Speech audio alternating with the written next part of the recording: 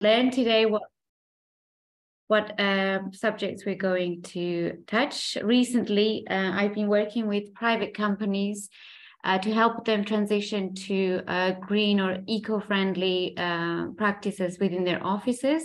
I've also worked with events companies and conducted events uh, with the vision of minimizing waste as much as possible.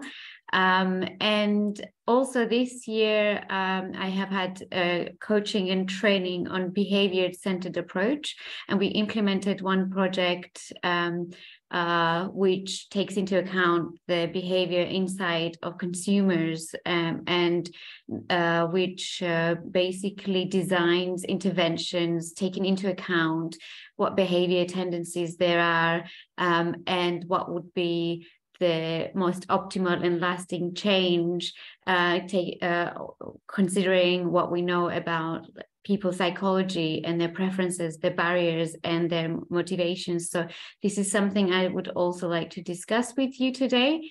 Um, and then uh, we will do some exercises to see uh, how, how you would approach similar situations and what solutions you would design, taking into consideration for example, uh, what works on people's habits, on for changing people's habits, and what doesn't work, in your opinion.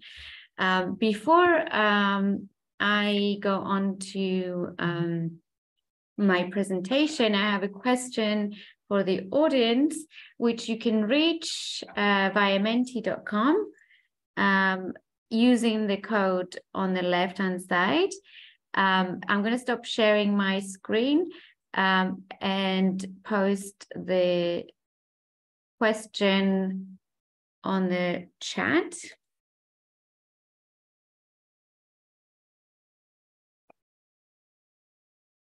Please uh, use the link and enter the code and answer the question.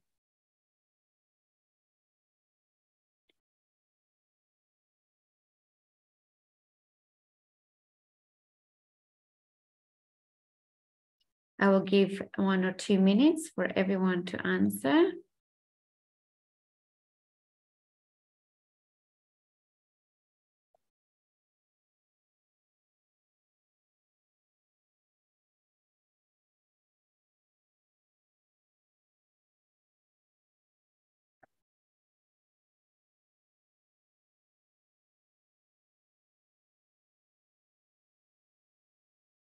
I think uh, I would ask also, um, yes, we have three responses. I think only one person is missing because it, it we have in fact four attendees. I think uh, Mariam connected from three devices. That's why we saw her. Right. okay. Ah, so we have we have more um, more responses. Okay. So the question is, which one of these would you be willing to give up forever? At the moment, um, straws and plastic bags are in the lead. Um, and I would like you to think, um, I think um, generally speaking, we think, oh, it's easy to give up either straws or plastic bags. Um, but I think it is easy for some people, but not so easy for others. Um, and even though it's absolutely essential that we do think about alternatives to these items because they're so destructive and uh, so abundant that uh, they're overflowing our land um, and being made out of plastic most of the time they do stay and pollute our environment for many many centuries. Um, but do we really understand everyone's experience. Do we really understand uh, how why or how people may not be able to give up these items? So my question to you uh, for the straw people would be um, can you think of who might not be able to give up this item and why? And i'm talking about specifically plastic straws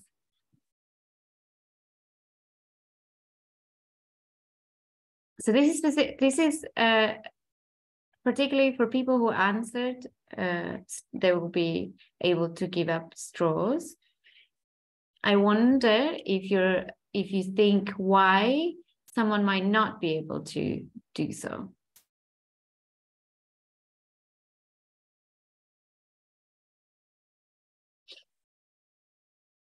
Uh, okay, I'm just gonna look in the chat. Um, someone said all four. Um, disabled people and children. Uh, people with diseases exactly um, i was going through um, some campaigning materials recently um, and i came across this um, disabled uh, person's uh, youtube channel uh, or some social media channel um, and she was very good at explaining that like environmental en- environmentalists really need to be nuanced in how we're campaigning about certain things. And uh, she was very clearly dem- demonstrating why plastic straws were absolutely necessary especially for hot food that she was unable to digest otherwise or eat. Um, and they were essential uh, part of her life. Um, so when we're campaigning uh, and when we are lobbying and advocating for certain changes, it's important to understand, uh, challenge our assumptions, and understand different segments, and make sure that we are we know who we are targeting, why, and that we're not doing um, any harm, and we're not uh, kind of uh, further strengthening some of these imbalanced power dynamics where some people's voices are completely drowned out and others are not. Can you think of, um, do you think that it's feasible to start pouring liquids into plastic, uh, something else other than plastic bottle?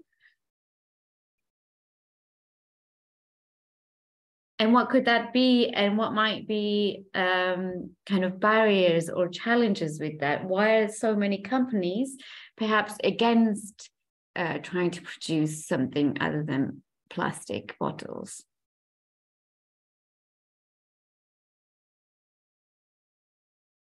You can use the chat if you like. I think we don't really have uh, a response to this but what I would say is that like a cost benefit to pro- pro- probably transporting uh, some of the bottles might be um, not so feasible for, for example, maybe smaller companies. Um, and with regards to, for example, plastic bags, um, is there any use of the plastic bag that you find it impossible to uh, imagine the replacement?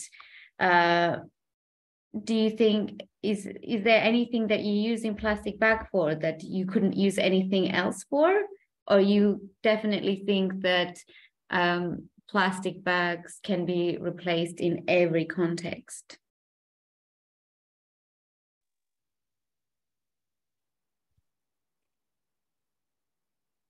Uh, may i ask this question?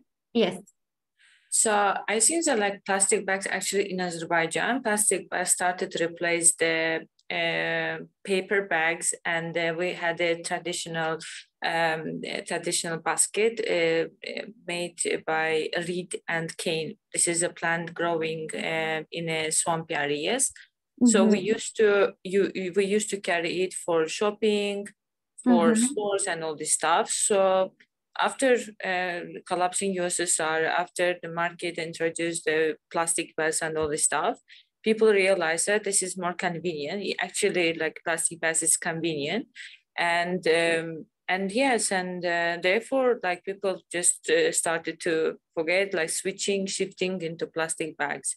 But of course, it's uh, it's possible to go back and uh, to raise awareness campaign regarding the negative uh, outcomes mm-hmm. of plastics in our life, in our daily life, and nature, and all this stuff. Mm-hmm. So yes, actually, there's a big hope actually if we start marketing on this issue. Mm-hmm.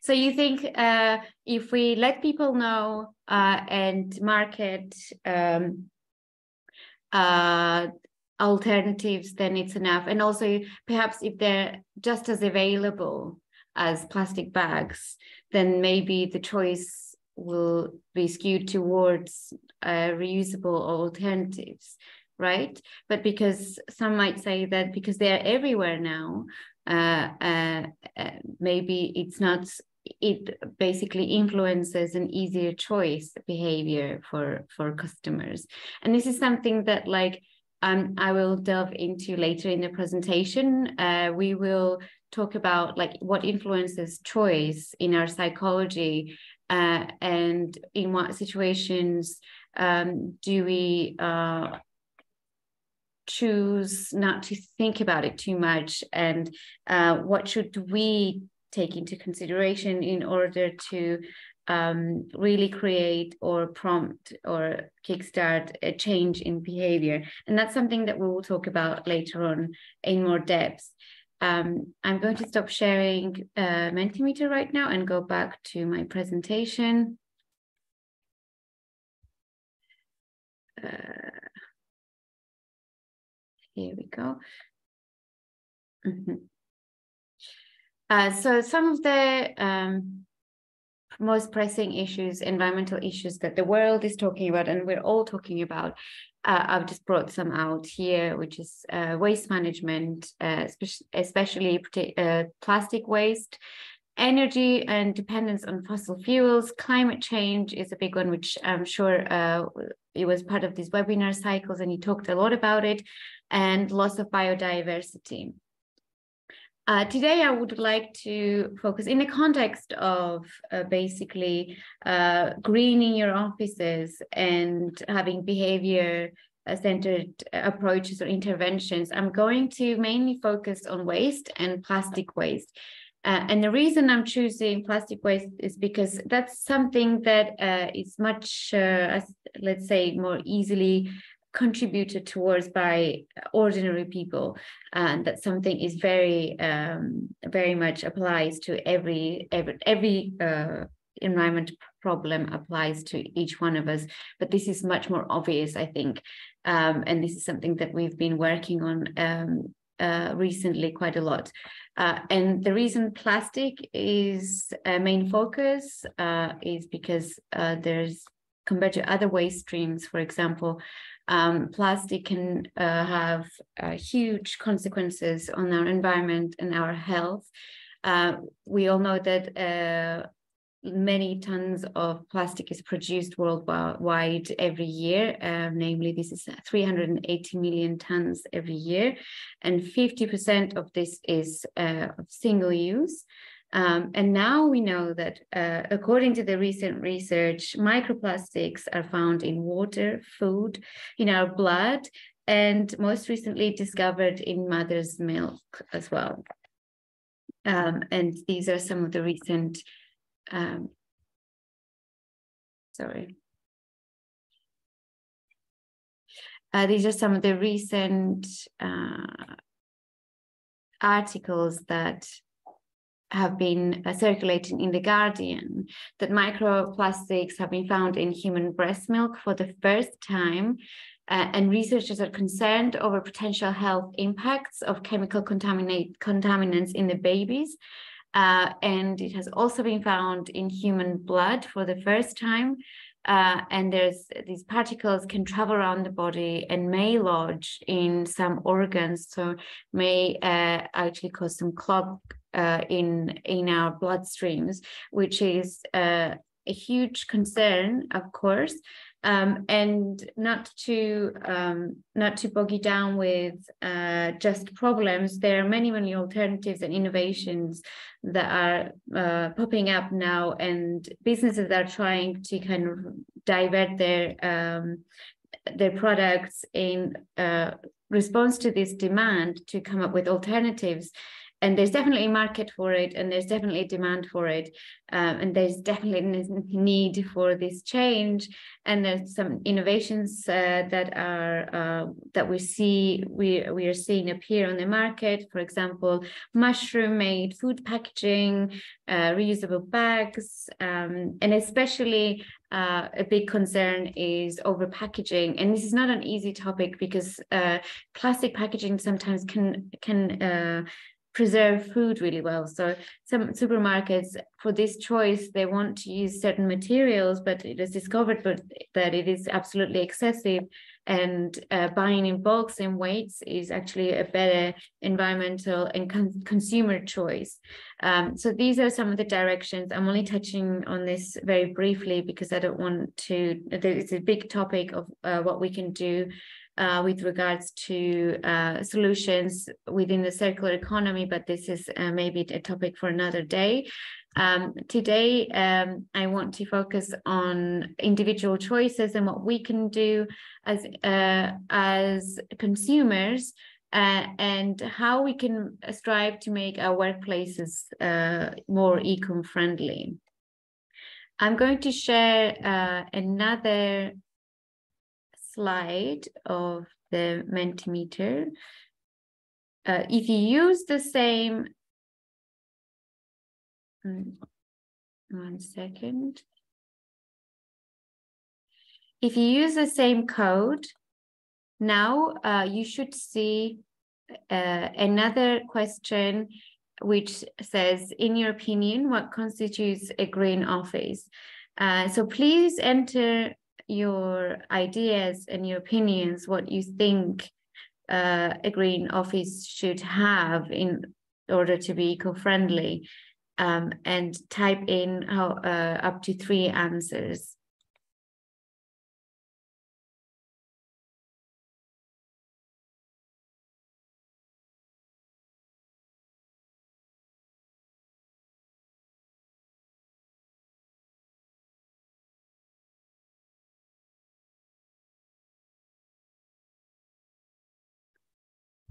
Um, are people responding or am I not seeing the responses? I think some are reacting in the chat instead of Mentimeter. Ah, okay. Let's see. Let's see the chats. Uh-huh. Okay, so it's starting to show up.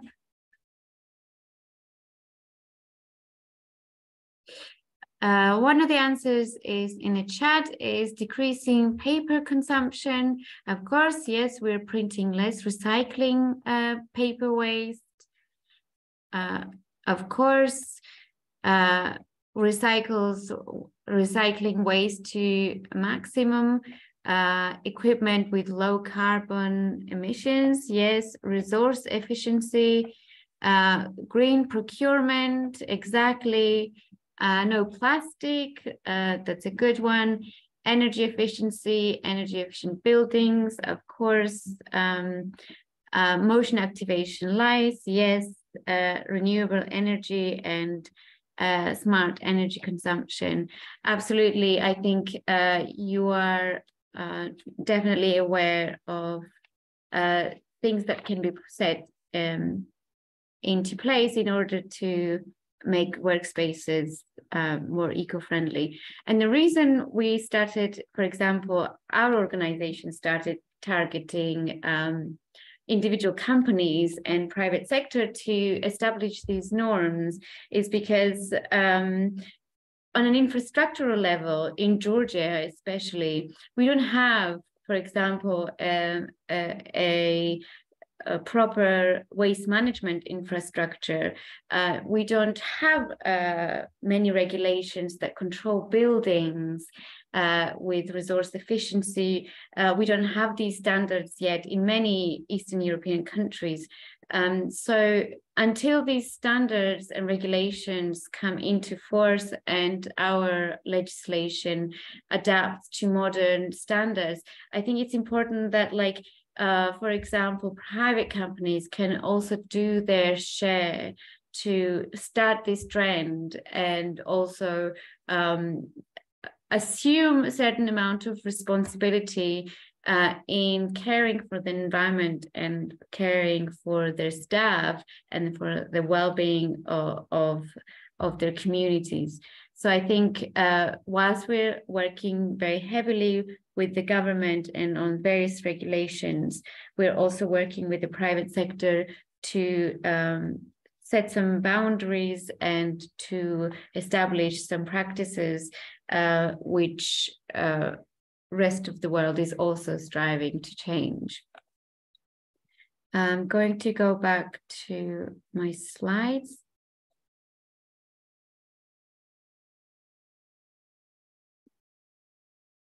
Uh, so the question is, why should you have an eco-friendly office? Um, and there's many, many reasons, of course. Um, eco-friendly offices make employees happier. There is um, also uh, increased customer loyalty, uh, of course, to be able to save the planet uh, and uh, to save huge on the energy bill and uh, in some countries get tax credits. I think there is a um, common misconception that if uh, if companies start switching to eco-friendly practices, it's going to cost them more. Uh, but in fact, uh, even if initial changes um, might cost a big lump sum, uh, over time, it does save money for many companies. Um, and it, it is actually financially much more benef beneficial. Uh, and of course, saving the planet should be the top reason to adopt e eco-friendly practices in a workspace. Um, and we know that it's not just enough to uh, make businesses uh, make those decisions. Um, we have a lot of data that uh, sustainability could benefit employees and and also the companies.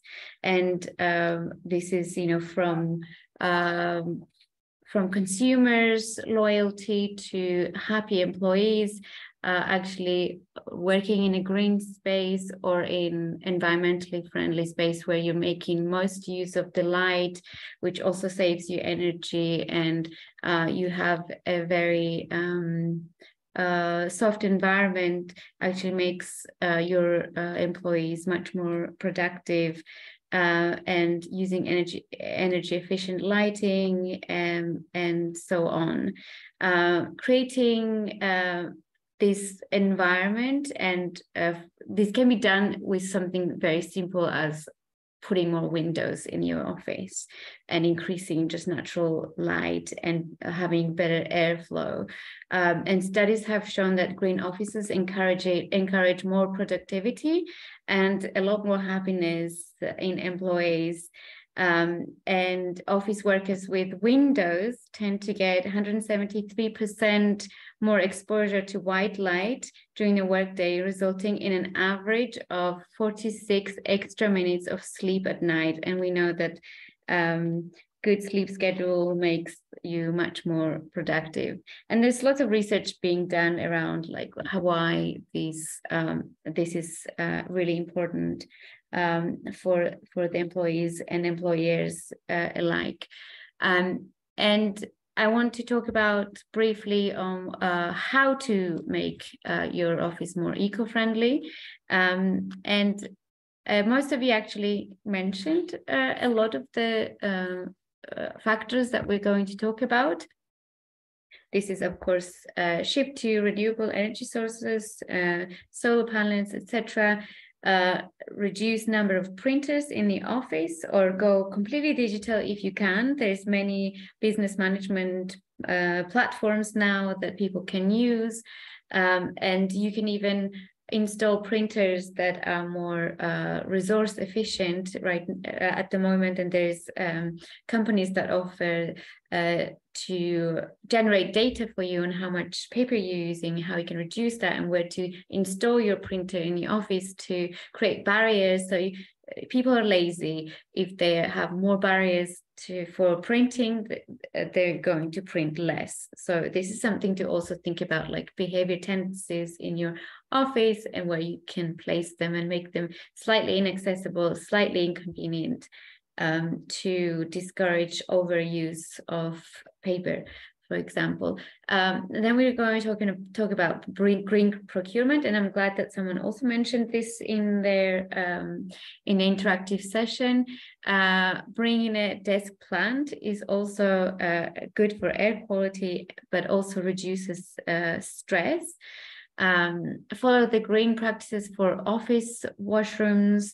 Um, make sure that uh, you use towels as opposed to, to kitchen towels um, and make sure that uh, you have optimized um, uh, bathrooms installed where there's less water is being used for the toilets and make sure that there's no um, leak or dripping faucets um, because you can actually now there's some website where you can calculate just how much water you waste through this drip or leakage and uh, it can come to you quite a lot um, again make uh, the most out of the natural light uh, install motion activated light switches this is also something that someone mentioned in our interactive session um, support eco-friendly commute options uh, and use green office supplies and opt for sustainable materials. Recycling was also mentioned and replacing plastic or especially um, single-use plastic. And uh, I'm going to focus on two things now about this. I mean, these are little practices that I'm sure all of you know very well about. I'm going to talk a little bit more about green procurement um, and also talk about waste uh, minimizing waste in your office and uh, how we can potentially use waste audit to be able to do that. Um, so green procurement is a process to procure goods, services, and works with a reduced environmental impact throughout their life cycle when compared to goods, uh, services, and works with the same primary function that would otherwise be procured. It is a tool to achieve environmental policy goals related to climate change, resource use, and sustainable consumption and production. Our aim here is to establish uh, internal policies within the companies to be able to filter products that are not environmentally friendly um, that are that use too many bad chemicals or and do kind of price and quality comparison on the market, do a little bit of market research, and have specific criteria on when selecting uh, different categories of products. And if these are slowly established in uh, in companies, the uh, the environmental impact it would be the negative environmental impact here would be reduced at a very significant level because individual action is good of course and is necessary but a collective action through companies um, establishing these uh, these policies internally really means really equates to a, a, huge outcome and much more sustainable. What once these policies are established uh, within the company, then it will continue and people and employees will have to uh, obey them. So uh, what does this green procurement promote? Uh, and of course, this is climate protection and CO2 reduction, circular economy, resource saving and use of renew renewable materials, energy efficiency, waste prevention, and uh, non-toxic uh, material use, um, and so on. Um, we actually have designed a green procurement guideline document, uh, which will soon be finalized, uh, finalized. And if you're interested, we will be able to share that with you, which lists a lot more um, factors as to what it helps to minimize and why green procurement um, is important uh, for your company. And uh, general principles that uh, these procurement regulations rely on are very similar to normal uh, procurement principles. And they are of course value for money measures not only the cost of goods and services but also takes into account factors such as quality efficiency effectiveness and fitness for the purpose uh, protection of the environment in this case can be one of these factors and can therefore act as an equal consideration amongst other during the procurement process. So we're not just looking for cheapest and most effective thing, but also something uh, environmental protection uh, is basically equal to these criteria. Um, we also, of course, obey the non-discrimination approach, equal access of service providers to the procurement process. So it's an open process like everything else. uh, equal treatment. Um, so you have comparable situations must not be treated differently, um, and you're following the criteria. You just have a criteria environment protection as one of the priorities. Um, transparency, uh, of course, uh, continues, and tender opportunities must be advertised widely enough to ensure competition uh, and proportion, proportionality, uh, uh, which measures adopted in uh, measures adopted in a procurement process should be appropriate to the objectives pursued and should not go beyond what is necessary to achieve them. So these regulations in um, green procurement are the same. Um, and uh, then you have kind of categories of um, different product products. So if you're looking at like um, printing ink or if you're looking at cleaning uh, materials, we are really looking at non-toxic materials. We're checking, there's a list of toxic materials that you should avoid that is also damaging for the environment. And you can follow them uh, to understand um, what you're purchasing. Um, and uh, basically, I won't go into it too much detail because I will be able to share uh, these documents with you soon.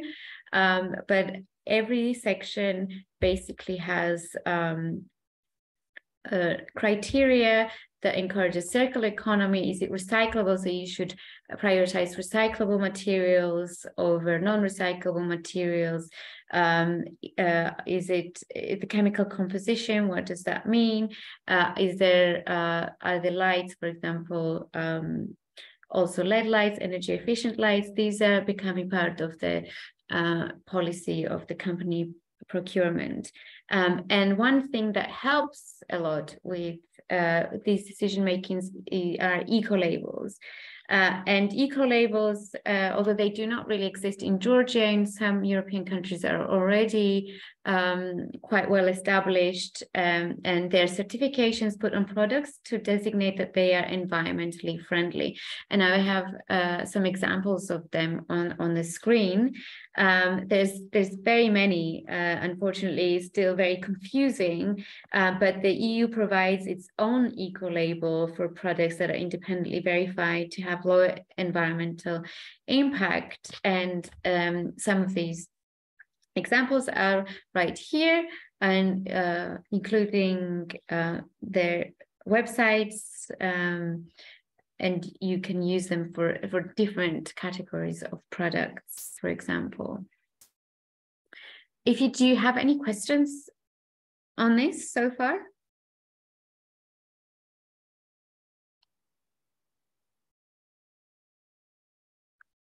Um, I'll take that as a no and I'll move on to uh, waste audit.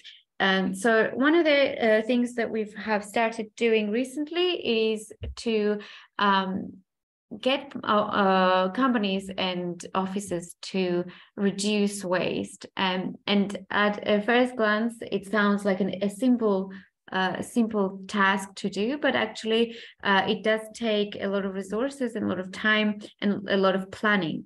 Uh, and what we have designed for this in order to uh, optimize the uh, process and make it easier for companies to do so, we have uh, designed or developed a waste audit system that helps companies understand and collect data about their waste streams and tar use targeted interventions or targeted measures uh, that minimize uh, waste that is most commonly commonly produced. And of course, this uh, waste audit follows the waste hierarchy, which in the first place means to prevent uh, generation of waste, to um, uh, reduce consumption, uh, generation of waste in the first place. And then uh, if there's anything that can be reused, uh, do so. Um, and uh, only after that can we look at recycling um, and recovering disposal. Uh, disposal is basically uh, sending it, uh, the waste to the landfills, uh, which uh, in countries like Georgia is not very um, is not very good because we do not have many um, sanitary and protected uh, landfills. In fact, there are a lot of um, non-sanitary um, uncovered uh, landfills and hundreds and hundreds of uh, illegal dump sites, which uh, means that waste leaks into our environment much more easily than in places where, where there is a good infrastructure for waste management. Um, so what do we mean by uh, waste audit steps? Um, and there's a couple of uh, couple of things you can do for it. Uh, one of them is selecting a time, fra time fra frame. So select a window of time over which you will monitor your organization's waste. Um, collecting the materials and sorting through them and measuring them. And there's, of course, uh, lots of companies would probably say that this is a lot of work. I'm not going to go through my bins and and sort and measure um, or whatever trash we're producing. Um, but okay, if uh, if this is not possible, there's a simpler way to do this is uh, basically collecting and sampling, kind of doing more observational and writing down, um, just recording uh, what is being disposed of within the office. You can do a photo based uh, sampling, for example, um, and then uh, then you start basically uh, volume and weight estimates. So if you are uh, interested in how much volume of certain amount of waste is generated, uh, you can gather this information by examining the waste um, receptacles before they're emptied and record how full they are or how much they weigh uh, and record this data throughout the sample period um, and keep in mind that this won't provide information on the composition of your waste, but it will uh, give you information how much waste is generated in general. But you can also note down um, just from observation and photo-based uh, analysis what types of waste you are seeing the most.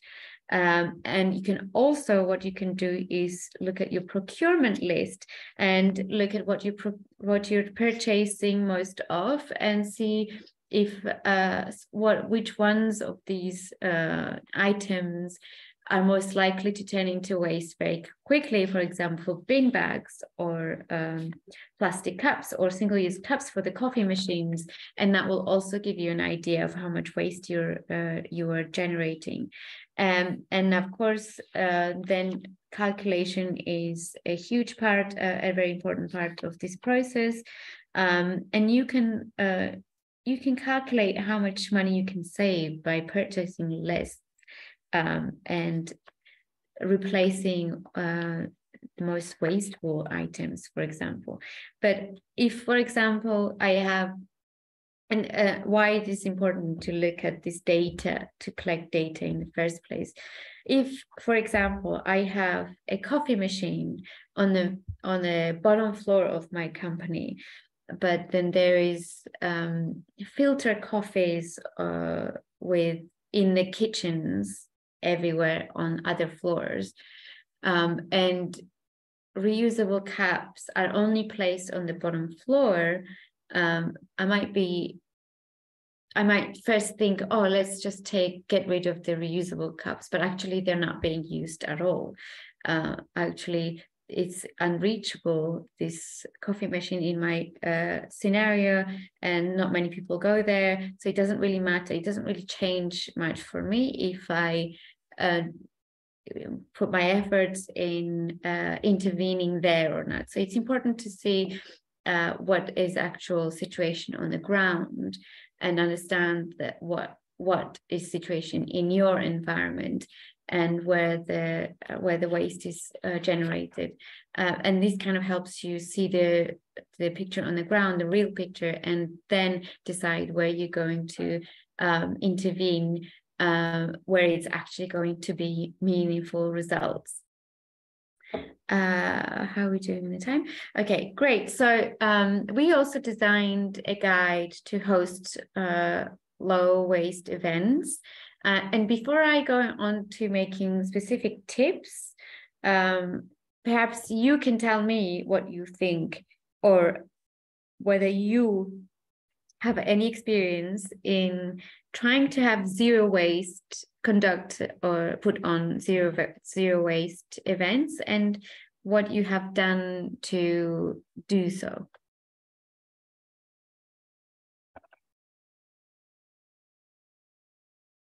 you can uh, put your microphone on or um, use the chat. Does anyone want to share their opinions?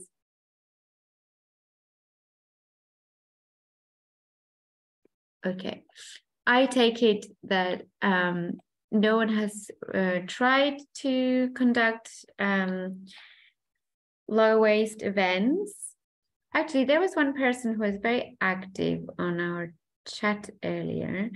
Uh, and I think I will uh, perhaps pick on people uh, to see. Uh, how about Eliso? Have you, what do you think um, would con what would you do uh, if you were putting on uh, a low waste or zero waste event if you are if you're with us? Or um, oh she doesn't have um, a microphone icon. Um, uh, so maybe uh, Gunay, you can answer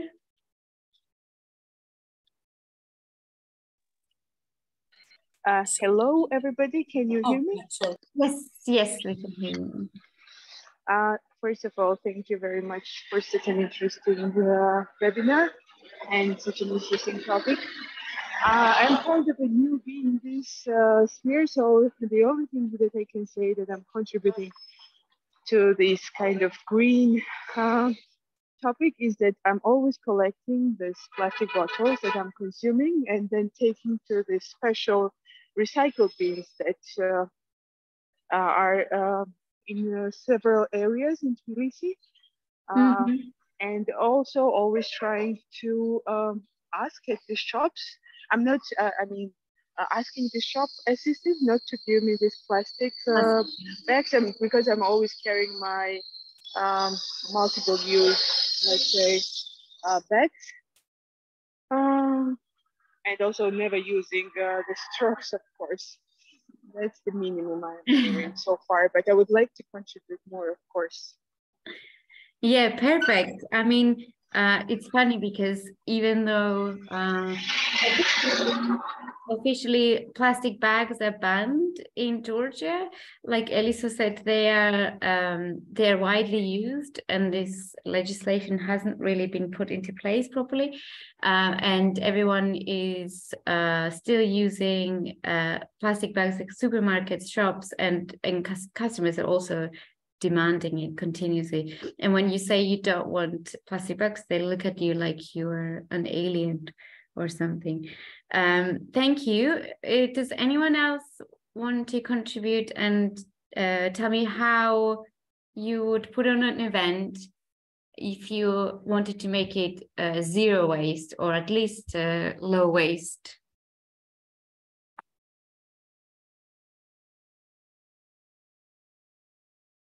Okay, then I will uh, move on to tips um, and specific components of um, how one might do that. Uh, okay, uh, of course, uh, firstly, it's important to uh, reduce paper waste. Uh, and this constitutes email attendees, uh, the schedule and agenda ahead of time, uh, and um, make sure that our invitations are recyclable. Uh, that means avoiding like bright colored or dark colored fluorescent or metallic papers, which cannot be recycled and um, uh, and also just going digital wherever you can. Um, if you want to distribute name tags, print them on recycled materials. Um, and we sometimes suggest where one might get recycled paper for, for the events. Um, uh, you can make sure that you're providing Wi-Fi to guests and send out electronic in invitations and advise them, kind of brand the event a non-paper waste event um, and uh, make sure that the, uh, ask them to use electronic version of uh, invitations or whatever. Uh, and of course, it's much easier to reduce plastic waste, asking your venues to provide uh, beverages in glass and reusable items. Uh, ask them not to provide you single-use cups. Uh, instead of having these packaged packaged condiments, you can use like uh, you can use the jars for them. Have uh, straws taken out of the uh, list. Um, and of course, single-use plastic plates and utens utensils can be easily replaced with reusable ones. You just have to make sure to agree this ahead of time with your catering company or, or the venue that you're contracting um, uh, in advance. Uh, and then uh, reducing food waste is really important. What I usually do is I I count the number of attendees and uh, on average, we probably have 60% attendance rate from the invitations that we give out. Uh, and I count that 60% of that amount, and I still uh, order food for 50% of the people invited because most of the time the food is left over and some people do not stay um, all the way through the event and some people will not eat as much um, etc so it's uh, for me from environmental perspective and especially food it's uh, important to have a little bit less than too much um, and we request from caterers that they only prepare enough food for the number that we are saying. Um, and then uh, we try to encourage plant-based menu uh, as a reduction in meat consumption, uh, leading to dietary GHG emissions, reducing uh, GHG emissions. Um, and we plan the menu to include seasonal organic food and lo locally produced food. And this is something, especially if you're doing um, this uh, in developing countries where um, it also means empowering uh, local producers. Um, and uh, always keep track of uh, the amount of food left over uh, after each event uh, and then you can then somehow understand how to order better next, time and how to improve that percentage. Um, and of course, uh, you can uh, organize events so that uh, you ensure there's a recycling system set up uh, for different types of uh, recycling. You might not need glass because many events might not have uh, glass waste. Um, and it's important to have signage for that. So make sure you're branding uh, your events, advertise ahead of time that this is going to be low waste or zero waste event and anything that is produced as waste, please recycle, make an announcement ahead of time when opening the event uh, and really use that um, as um, as a, a, a PR for your event, uh, uh, uh as a trademark PR for your event to make sure that um, people understand what you're trying to achieve.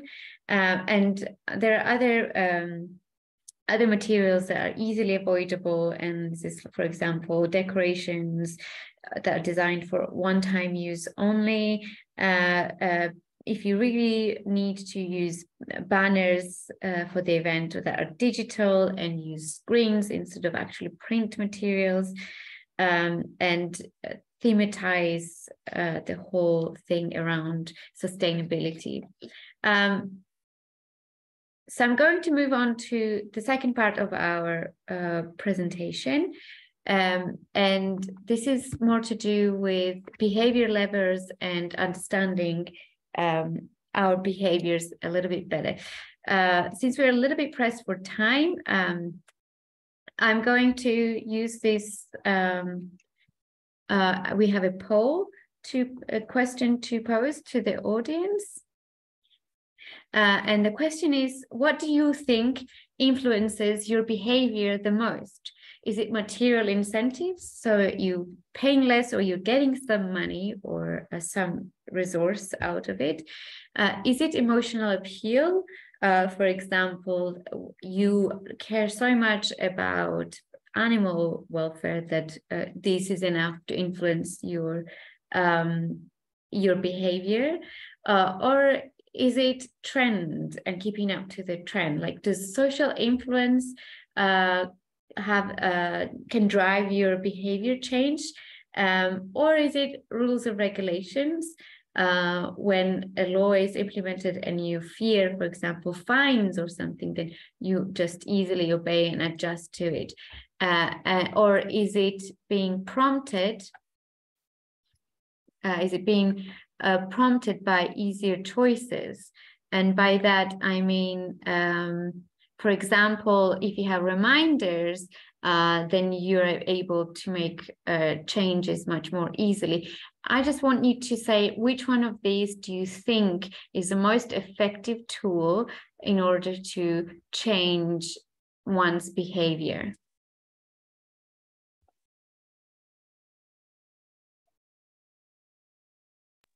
Emotional appeal. Well, in my opinion, the emotional appeal and the social uh, rules and regulations important, and I think that uh, Summit works like effectively um, rather than, for instance, promotion. Yeah, of course, promotion and raising awareness campaign and all this stuff is working.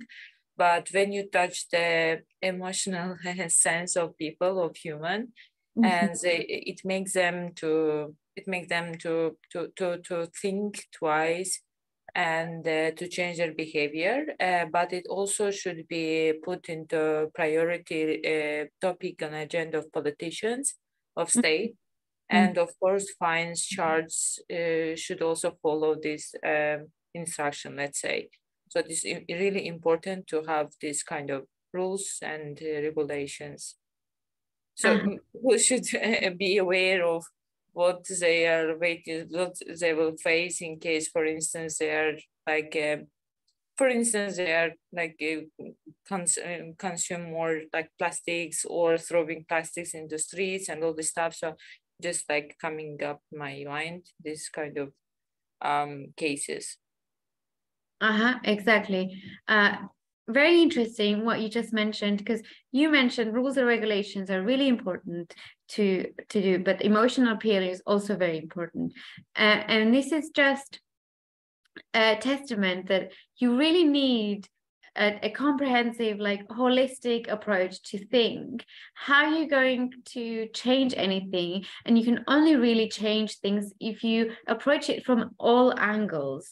Um, and there's so many examples. Uh, for example in georgia uh, people were not wearing seatbelts for for many many years because it was assumed that if you wear a seatbelt, you're insulting the driver because they're uh, they're putting you apparently in danger uh, and you don't trust the driver. And um, there are lots of campaigns, maybe not a lot, but some campaigns and uh, some information uh, dissemination around this topic to encourage people to start wearing seatbelts. And it wasn't until regulations, strict regulations that came into force with very strict fines that people started to uh, started to change this behavior. And but it's not enough. It's not enough just to say rules and regulations. Um, you, they have to understand why um, the information is important, um, and also the emotional appeal is very important. They need to be able to emotionally uh, connect to this issue uh, in order to prompt their decision making. Um, and I will talk about that a little bit more in depth shortly. I just want to talk about like why this is important. Consumer behavior matters. Consumer experience matters. It's okay for us to say, "Oh, this is not good for the environment. Therefore, we're going to change it." But we, if we don't take into account uh, what consumer behaviors, there could be backlash uh, it could uh, really be counterproductive uh, and it could do more harm uh, than good. Uh, and why is consumer behavior really important and experience really important to understand is that it makes us challenge our assumptions something that i talked about at the beginning of our um, of the presentation we might in our own bubble we might assume that these things are very easy it's very easy for me to not use plastic bags anymore because i have all these other options it's very easy to not use plastic bottles um, anymore.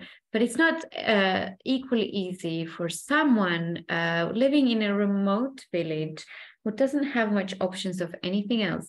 Um, and this is really something that people miss.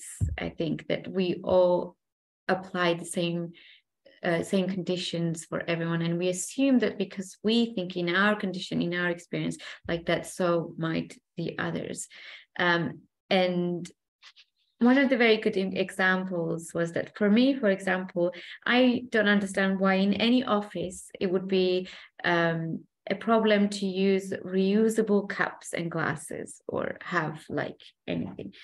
But it was uh, really, um, we found out from our research that in larger offices and in one particular office, especially uh, especially after COVID, people were strong, very strongly against shared dishes and cups uh, due to hygienic uh, reasons. And this really acted as a huge barrier as to why they were not willing to switch to something else. Um, and we had to take that into account uh, and really understand what we would, what could be done in order to overcome this barrier. Uh, and these behavior levers that I just mentioned, they have been designed by uh, um, a research institute into behavior science. Um, and they have categorized uh, these um, emotional, uh, these uh, psychological components that all contribute to our behavior. And like I mentioned, these are emotional appeal, social influence, choice architecture, and I will talk about what that means in a minute, uh, information, material incentives, uh, and rules and regulations. The most common tactics uh, for behavior change are these three. This is what most people think are important that if you give them material incentives, which is basically means pay them, uh, rules and regulations, that stop them doing from something, uh, and inform them, just tell them. And they think, most people think that these three are enough to uh, influence some sort of uh, change. They're necessary, but often they do not work and, and ex clear examples and evidence have shown that they do not necessarily work. Uh, financial incentives can backfire. Uh, payments can uh, crowd out other motivators. Uh, incentives can drain limited resources. Um, and fines can be seen as just the cost for behavior. Um, and as for rules or regulations, they often need uh, enforcement. And if there is no enforcement, like in this plastic bag situation in Georgia, then the behavior doesn't change. Uh, and rules do not work if norms are misaligned. So uh, cultural context, for example, for this is very important. Uh, and correcting an information deficit rarely really leads to lasting behavior change. It's one thing for me to know that something is wrong, and another thing for me to act on it. Uh, and it's one thing for me to care about something, and completely different thing for me to change it at my inconvenience or at some cost of or another. Um, so it's very important. It's also important to consider other aspects of psychology, and this is um, emotions, uh, which actually drive us to act. Um, and creating social um, social uh, architecture social influence i mean which means we're talking we're looking at trends modern trends of contemporary world. We're looking at role models. We're li- we're listening to opinion makers. We're taking examples that already exist and that have already uh, shown to work. And this kind of influences the flow of our behavior uh, and really drives us to do similar things. We do copy and mirror each other quite a lot. Um, and that's something not to be dismissed. Um, and so when you're working on some changes, it's really good to have uh, pioneers already in this field and as to, that can act as trend setting normalize someone who is normalizing or, or groups of people communities that are normalizing a certain behavior um, and uh, and the third one, and I think this is one of the most important ones, is choice architecture. And uh, choice architecture is what are the circumstances in which I'm making the choice, and how easy it is for me to make that choice. And we will talk about that a little bit more. Um, so emotion appeals means using emotional messages in addition to or instead of appeals uh, that appeals to reason. Um, and this is something that uh, we can talk about what different kinds of emotions, right? We're talking about pride, we can talk about hope, fear, anger, interest, or prospect of shame. And shame is really widely used in environmental aspect. And i think in anything uh, we're really more inclined to use shame as a driving factor than anything else. But do you think do you think that works? Do you think shame is a good driver of people's behavior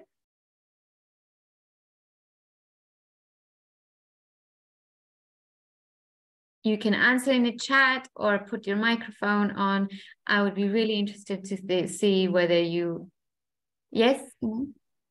Yeah, I think that uh, shame it is working, uh, but uh, if to take a cons- uh, if to uh, take in consideration the situations that uh, countries in South Caucasus is um, is a bit different than, for instance, the countries in uh, in, in Europe. So shame, I'm not sure that it it is a good tool. It's an efficient way to kind of to um yeah, to explain people about the importance of recycle stuff or about the green cir- um, um, uh, circle economy and all this stuff because people just like uh, basically they are not aware of why it is shame for instance to use more mm-hmm. plastics to throw this away to uh, to consume more i don't know for instance food waste and all this stuff they are not aware so mm-hmm. before like uh, taking the shaming action so mm-hmm. it's better to appeal of course emotional side to mm-hmm. make a more like a holistic as you um, mentioned like regulations, law, and uh, marketing, also some campaign and all the stuff.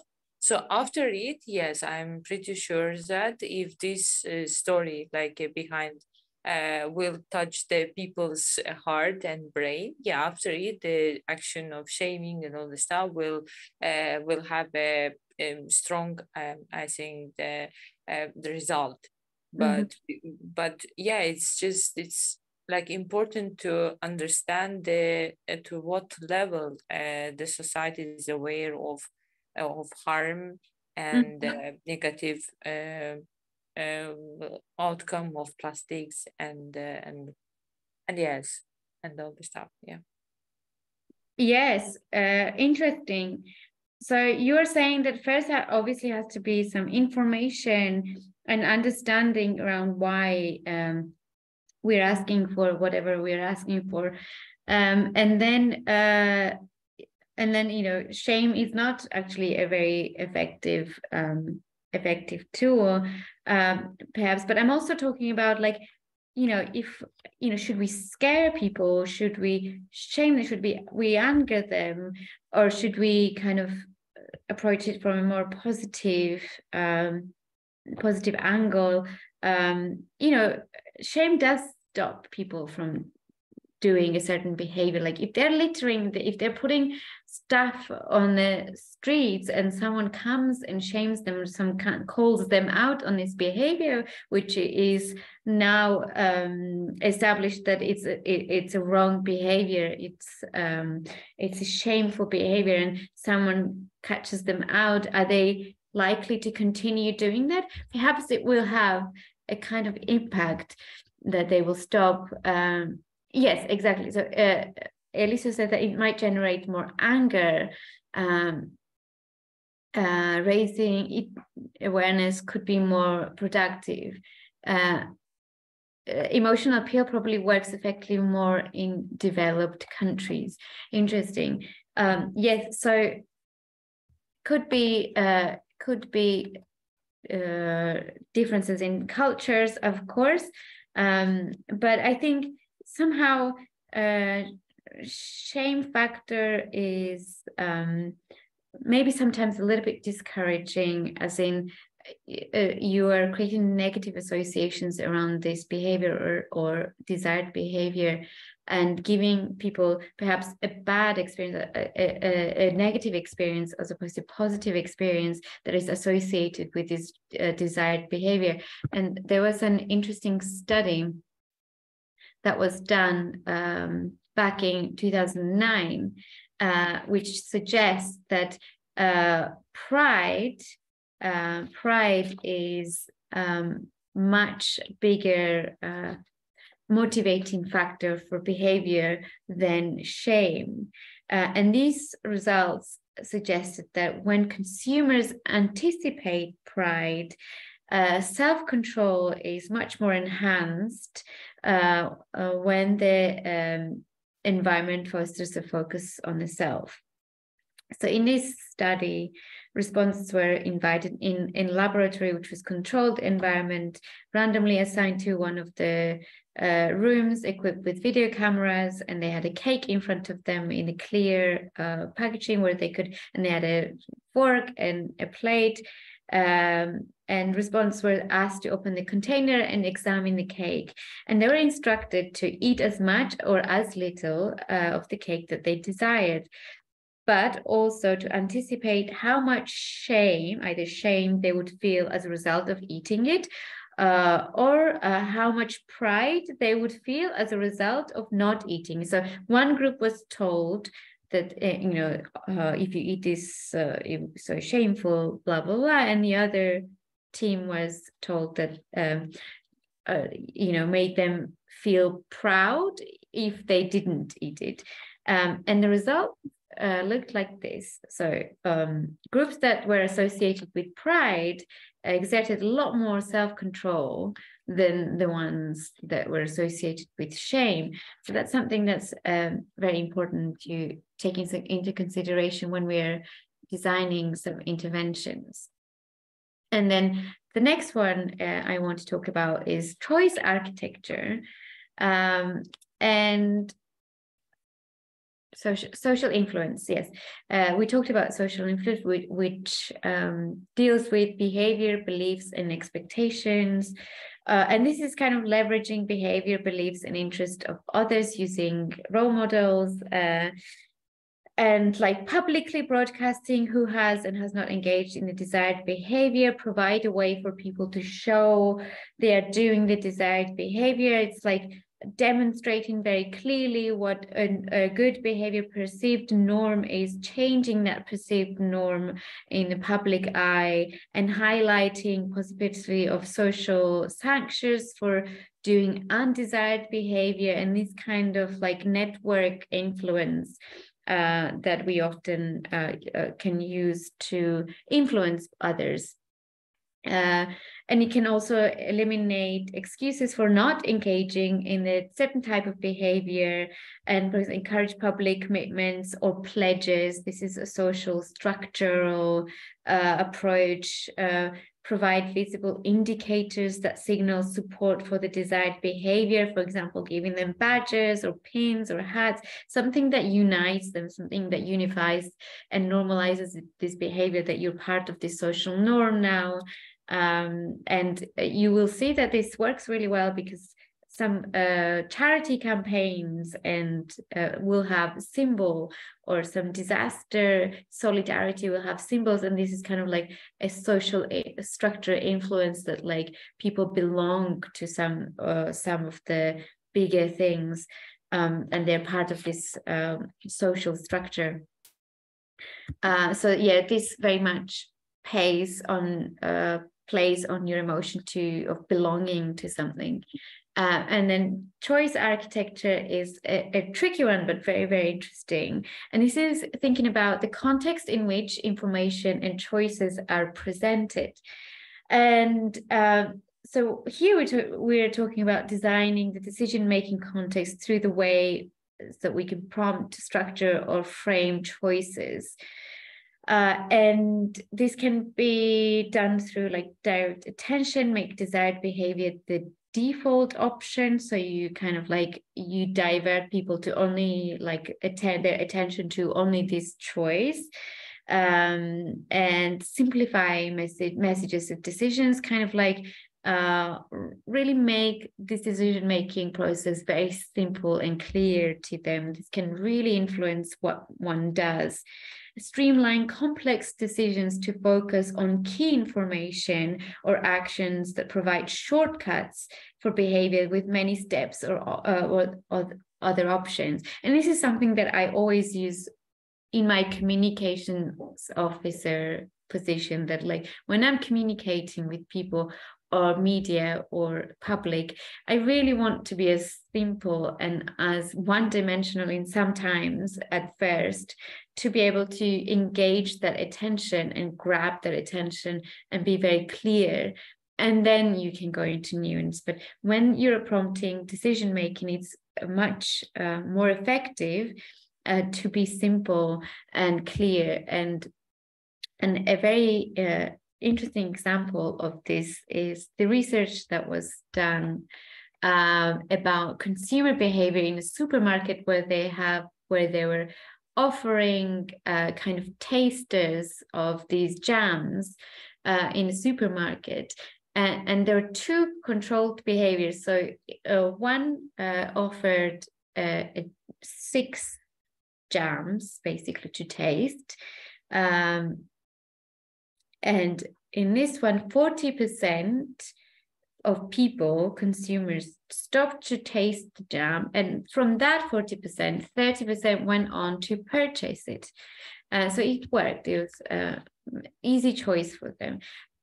Then again, uh, in the same setting, uh, the supermarket offered 24 more choices of jams to taste, and more people stopped. 60% stopped to taste it, um, and it led to zero purchases. So this is kind of too much choice. Mm, confuses people leads to more inaction and this is something that's very important to understand in different settings that if we have too many choice overloading people with choices uh, and giving them all these options, perhaps it's not uh, necessarily effective because you confuse them, you're overwhelming them.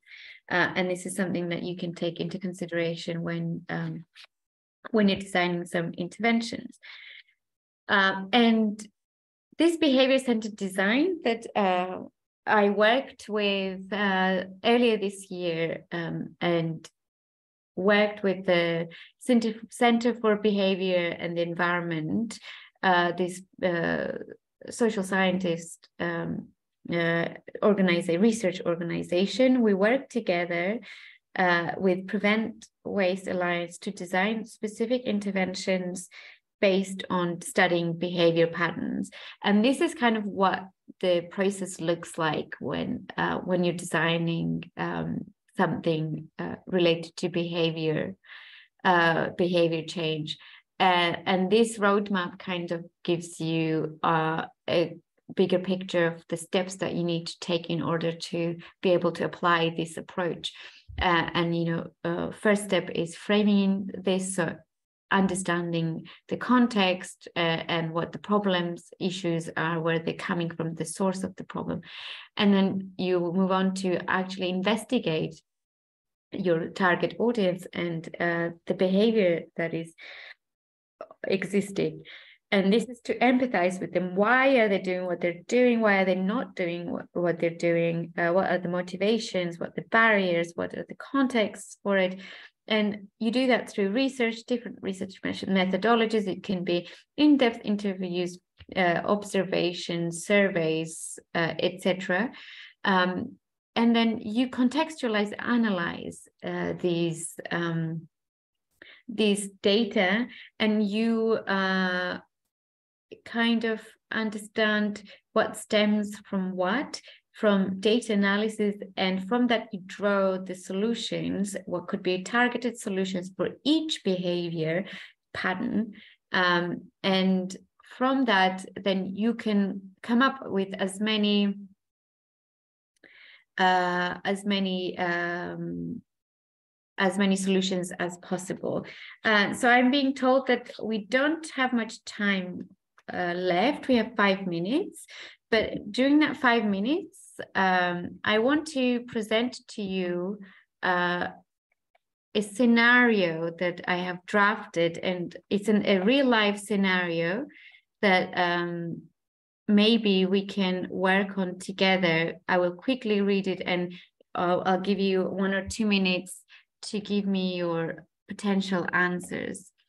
Uh, this is supposed to be a group work, but since there's not that many of us, um, we can just uh, do it together.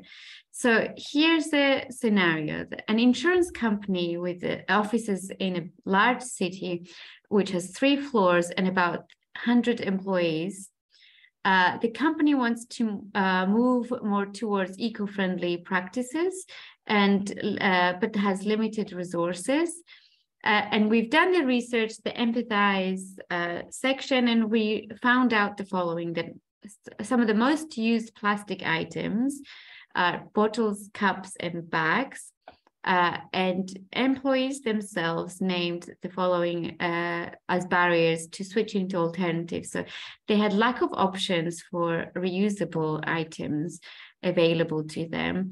Um, half the company does not see the necessity of why they should even switch to uh, an alternative, and over 60% of the employees do not want to share do not want shared cups placed in the kitchen because of uh, hygienic reasons. Um, and many employees use uh, single-use items during birthday parties, let's say birthday uh, days, um, because uh, they, there's too many dishes to wash afterwards. Um, and it was also discovered that company throws out plastic bags from individual bins every other day. So 100 plastic bags per every other day. Uh, and employees at the office do not recycle as they don't have a recycling point near them um, and they don't possess any information about them. So just considering this situation, um, which one of these uh, factors would you use and what would you do? What interventions would you implement to try and reduce uh, plastic waste or waste, generally waste in, in this company. So you have, uh, if you wanted to use emotional appeal, what would you do? A, a, simple example uh, or social influence. Uh, you could have choice architecture. I mean, um, obviously, there are some limitations in real life, but in this scenario, hypothetically, you're happy to suggest anything you think would work, considering taking into consideration what uh, the data that we have in front of us.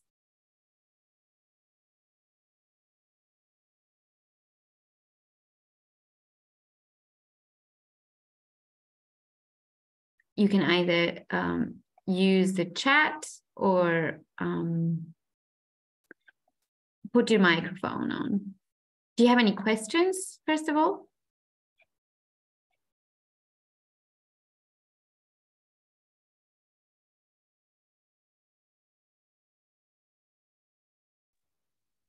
I think that the insurance company may encourage their employees to bring their own bottles, cups, um, for daily use now. Uh, yes. Um, and do you think they'll be happy to um, go through that effort? Yeah, but uh, I see that, well, in generally, uh, people uh, in Azerbaijan, I'm talking about Azerbaijan, mm-hmm. big companies, no matter the scale of company, big or small, everyone carry out their own, uh, get, get their own uh, uh, cups uh, and bottles. So if there's a dispenser, like where they, they can get the water and coffee, yes, on that uh, that machine, yes, people just they have to use these plastic bags. But recently, I realized that the less plastic bags are putting that machine, more like a paper bags for recycling uh, issue. Yes, so uh, imagine you have a company and no one is bringing uh, their own cups or bottle. They're buying bottled water, but you want them to bring um, reusable ones. You want them to encourage to stop buying plastic. So what would you do? Like in this scenario, what people are saying, uh, what would you do to encourage their behavior change? But the thing is, like, and the company cannot just prohibit or I don't know to say stop. Technically, yeah. it, it is impossible because it's a choice. At least this is the basic of human rights. Yeah. Uh, so maybe like emotional appeal in this uh, case will be more effective. Uh, mm-hmm. Yeah, to knock the door of people's mind.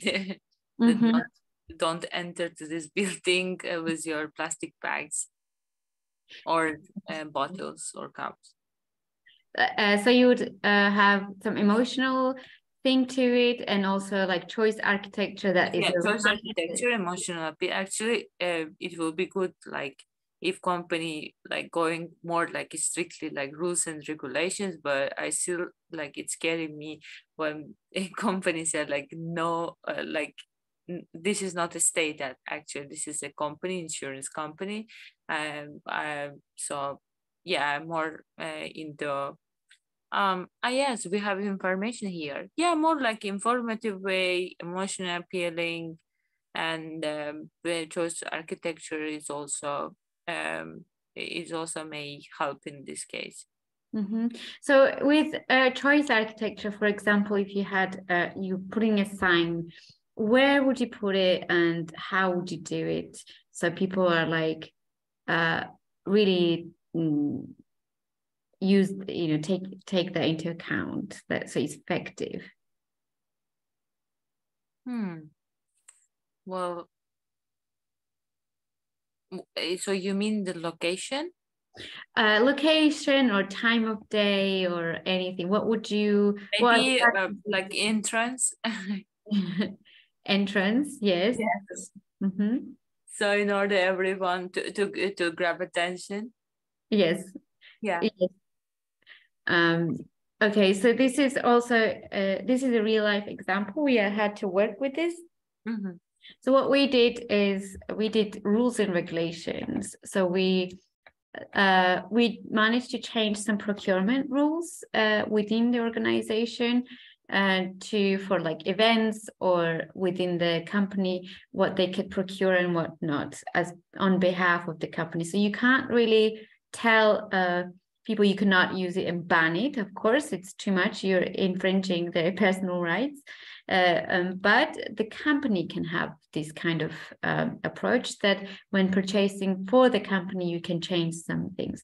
And what um, what they thought what would work better is material incentive and to buy all the employees uh, their individual bottle and in that, uh, why was uh, consumer experience very important? Again, somehow there was some mistrust with the quality of water in the office.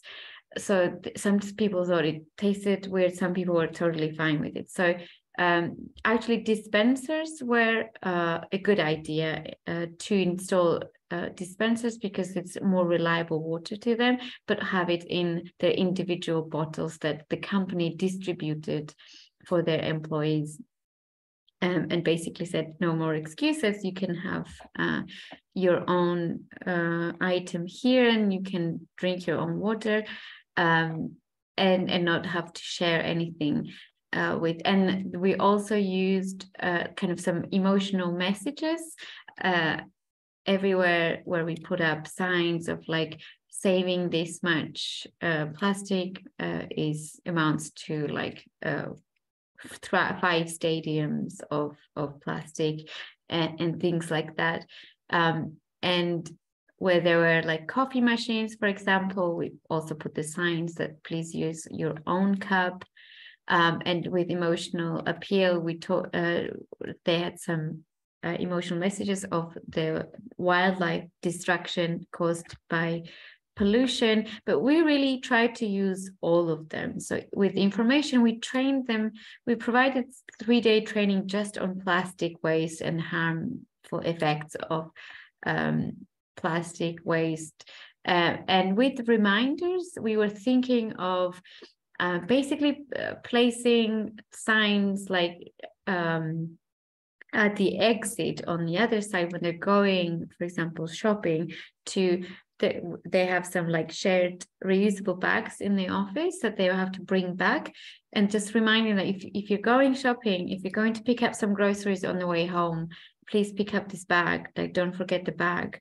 Um, and we talked about like uh, sms reminders to at a certain uh, point during the day to remind them to either take bag or, or, or to remind them to recycle and with recycling um, what the company did is they removed the individual bins from the desks.